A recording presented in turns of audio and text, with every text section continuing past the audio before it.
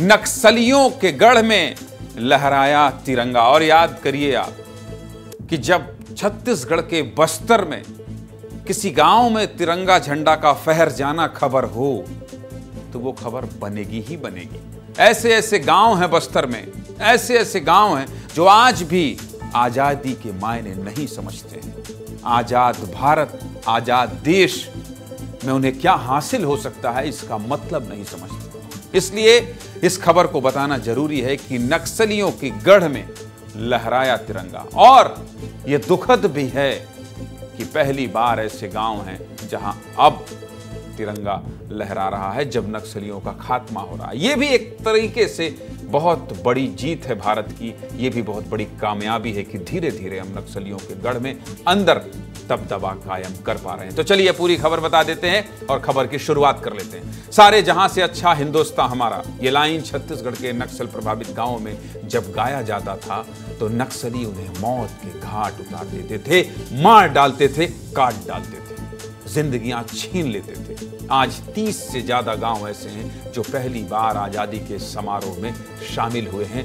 पहली बार शामिल हुए अठहत्तर साल हो गए भाई साहब, अठहत्तर साल हो गए जिस झंडे के नीचे लोग जीते हैं, उसे झंडे को फहराना यहाँ गुनाह समझा जाता था, गुनाह समझा जाता था, अपराध समझा जाता था। लोगों के मन में उनका प्रतीक चिन्ह केसरिया उजला और हरा रंग से रंगा तिरंगा नहीं था।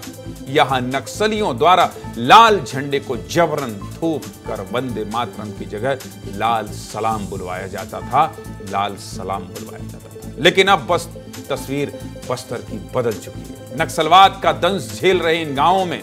जब पहली बार तिरंगा फहराया गया तो पूरे देश का सीना चौड़ा हो गया।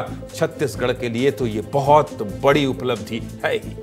इन गाँव वालों के लिए स्वतंत्रता दिवस और गणतंत्र दिवस जैसा कोई पर्व ही नहीं था। लेकिन अब शासन, प्रशासन ने गाँव वालों को मुख्य धारा से जोड़ा है।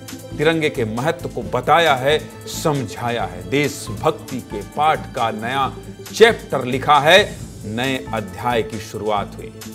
ये वो इलाका है जहाँ बीते साल नक्सलियों का खात्मा करने में सुरक्षा बल काफ़ी कामयाब रहे। मंगनार एक गाँव है जहाँ लोगों ने जवानों को आज़ादी का उत्सव मनाने का न्योता दिया था। देख लीजिए, बच्चे और महिलाओं के साथ साथ गाँव के लोग नज़र आ रहे हैं। ये बहुत अच्छी तस्वीर है। बारिश में भींगते हुए झंडा फहरा रहे हैं। दिखा दीजिए भाई, झंडा फहराने की तस्वीर दिखा दीजिए।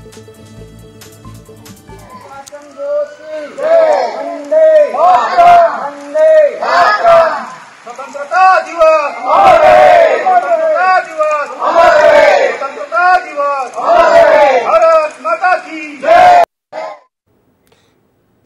बंदूक के साय में ही सही। सुरक्षा बलों की निगरानी में ही सही।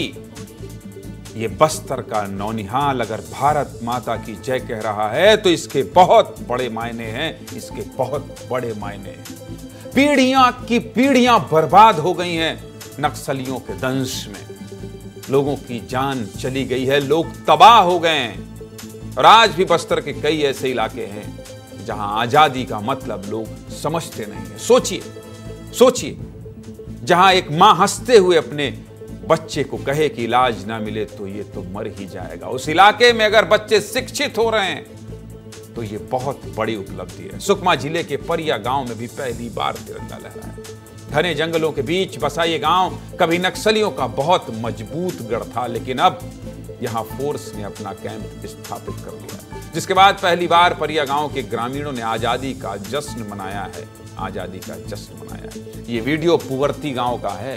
ये गाँव पाँच महीने पहले तक नक्सलियों का राजधानी हुआ करता था। लेकिन अब तस्वीर बदल चुकी है। देश का सबसे खतरनाक नक्सली कमांडर हिडमा पुवर्ती का ही रहने वाला है। लेकिन इसी साल फरवरी महीने में फोर्स ने यहाँ एक कैंप खोला, जिसके बाद यहाँ की तस्वीर बदलने लगी।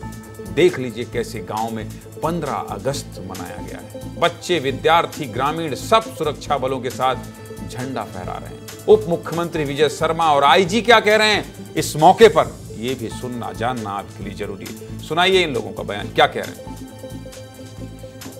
मुझे जानकारी है कि एक ऐसे व्यक्ति ने जिसका आईडी के ब्लास्ट में पैर उड़ गया था अपाहिज हो गया था जीवन भर के लिए। उसने भी आज तिरंगा फहराया है। मैंने यह भी सुना है कि एक बच्चे ने, जिसके पिता को नक्सलियों ने मार दिया था, उस बच्चे ने भी आज तिरंगा फहराया बहुत बड़ा संदेश है पूरे समाज के लिए, पूरे बस्तर के लिए। जन जन तैयार है।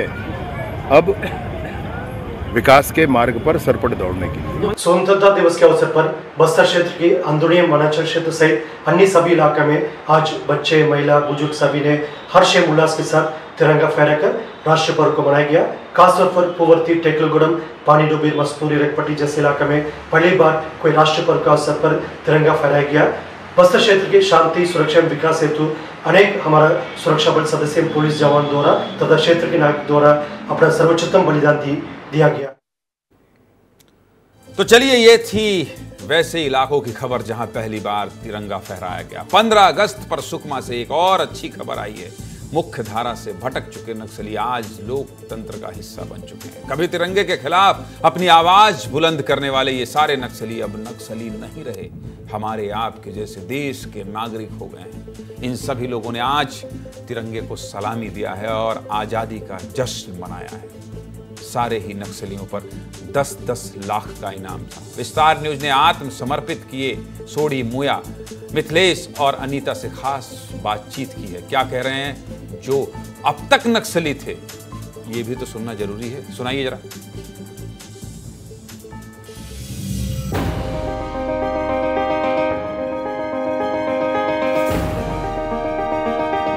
जो कभी लोकतंत्र के दुश्मन हुआ करते थे लाल आतंक के गढ़ में रहते थे और ऐसे लोगों के पास आज विस्तार न्यूज़ खुशियाँ बांटने पहुँचा है। कला दिवस मनाते हैं वहाँ नक्सली। यहाँ तो हम लोग पसंद किया कुछ तो लग रहा है वहाँ जो संगठन में रहते समय जो उनका जो माओवादी संगठन का जो सिद्धांत है उनका पालन करना ज़रूरी है। ये स्वतंत्रता दिवस यहाँ पे मना रहे हैं हमें भी बहुत खुशी है।